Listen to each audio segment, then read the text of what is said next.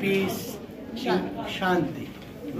So in yoga, you are in union with the divine. You are not in this samsara, in this world. So this is a challenge for us to be a yogi. A yogi is united with the divine. You can either be yoga or bhoga. Bhoga is the word, the word of God. Here, I just want to want to wish AiR all the very best on realizations of a of a yogi, happiness and success, and um, I I am really glad that I can be part of of your special day. Um, and it's wonderful to know that when your book is a bestseller, it's sold out. I think that's the most gratifying uh, uh, feeling. But um, yes, I just take this opportunity to congratulate him, his entire team, and to many, many, many, many more such insightful books in the future. Thank you, thank Thank you. Go on, if you just earn and burn, actually if you see in the, Upa, the Upanishad they say, Brahmachari, Grahastha, Vanaprastha, Sannyas. What it means?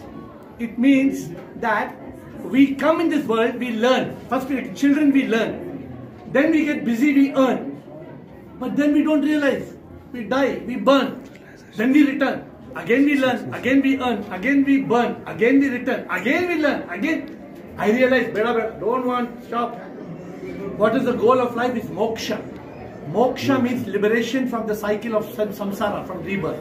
This realization made me shut down my business and today I am an author, I have written so many books and I try to help people get this enlightenment.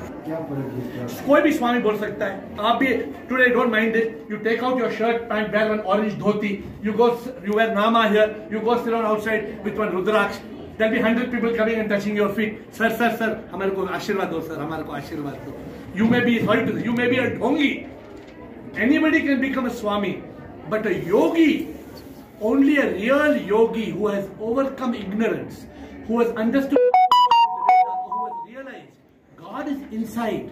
God is not in the skies. These are lies. The real yogi is united with the Supreme. You can anybody can wear one long beard, long hair. Is the problem, sir? You stop shaving for one month, two months, you will start looking like a sannyasi. That does that's not good. That's not helping us. So how a common man be a yogi, sir? A common man has to realize I am not the body, mind, ego. The common man has to see everybody wants to be happy, but nobody knows how to be happy. To be happy, you must get enlightenment. Enlightenment means switching on the light of truth, overcoming ignorance. Then you can become a yogi.